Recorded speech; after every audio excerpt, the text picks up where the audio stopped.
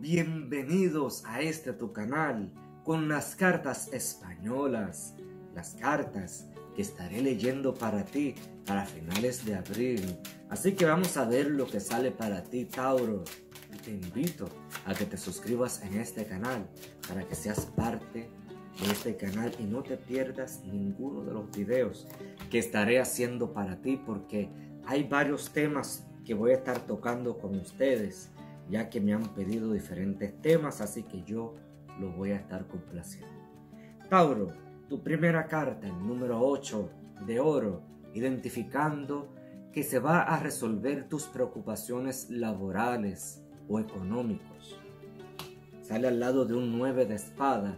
Eso indica que estás preocupado, estás en un punto que te preocupa algunas cosas, a pesar de que tú tienes esa paz de resolver las cosas con mucho cuidado y con mucha fe, porque eres un signo que estás lleno de fe y con mucha fuerza espiritual. También puedo visualizar a una persona arrepentida por haber calumniado en tu contra. Esta persona me sale con el número 10 y el 9 de basto. Esa persona ha calumniado, ha dicho algo de ti que no es cierto. Y bueno, esta persona parece que no la está pasando muy bien y se está recordando de la injusticia que pudo haber hecho contigo, Tauro.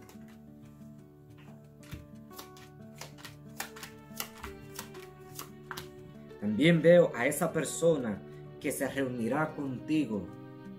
Una persona que está supuesta a ayudarte, aunque tú necesitas su ayuda, tú te vas a sentir mal con esa persona y vas a tratar de rechazar la ayuda de esa persona para no sentir ninguna humillación o no sentir una molestia con ella, ya que esta persona querrá poner difícil esa ayuda o esa interacción contigo.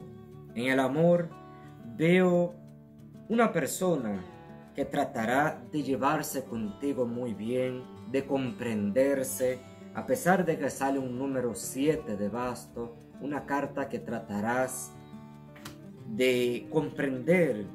Según esta carta, tú estás tratando de comprender los problemas que hay en el amor o la función, pensamiento de esa persona que te interesa. Y para los solteros se puede entender que hay una persona del pasado con un comportamiento erróneo, el cual estarás muy enterado, Tauro. Puerta abierta para ti, veo mensajes, llamadas y personas que usarán conciencia ante situaciones que estás pasando o que personas allegadas a ti están pasando. Entonces veo personas preocupándose y queriendo unirse contigo. También puedo ver ese cambio, el cual puede ser mudanza o simplemente un cambio dentro del hogar, físicamente hablando.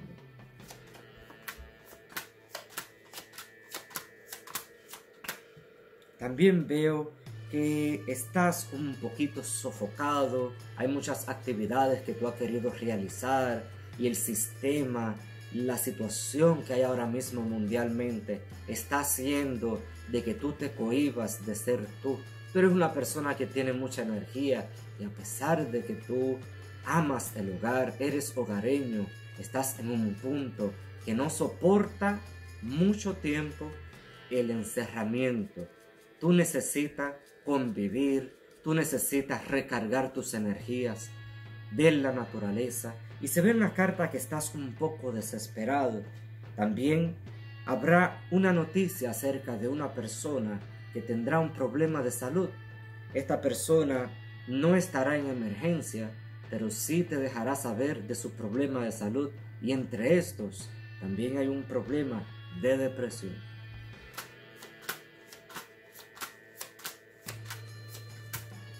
También veo a esa persona clara o blanca de color en la piel que te hablará de un dinero o de un gasto necesario para llevar a cabo una función que te interesa llevar o resolver.